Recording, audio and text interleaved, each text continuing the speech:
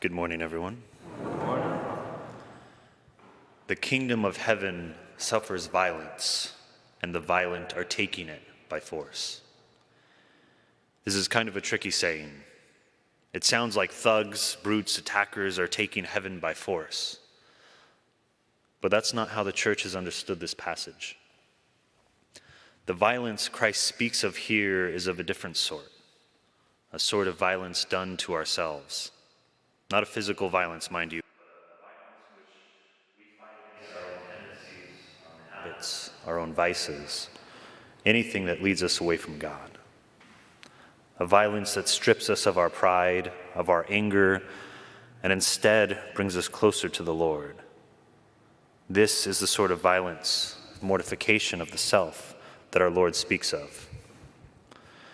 It's a sort of violence required to get out of bed the first time the alarm goes off.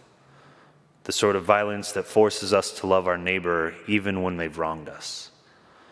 The sort of violence that demands that we assume the good in situations where we almost always assume the bad. We are the violent ones taking heaven by force, fighting against our baser instincts, fighting for life eternal with God but the thing is, we don't always succeed in this fight. Oftentimes we lose. As we make our way towards our Lord, we cannot expect to be victorious all the time. And when we fail, and we will, after all, we're only human. But when we fail, with our Lord's help, we will begin again. This is one of the truths of the spiritual life. It's simultaneously the simplest and the most difficult thing to do. It takes a force of the will, it takes the grace of God to begin again. But this is the violence we must do. We must mortify ourselves, our will, and begin again and again and again.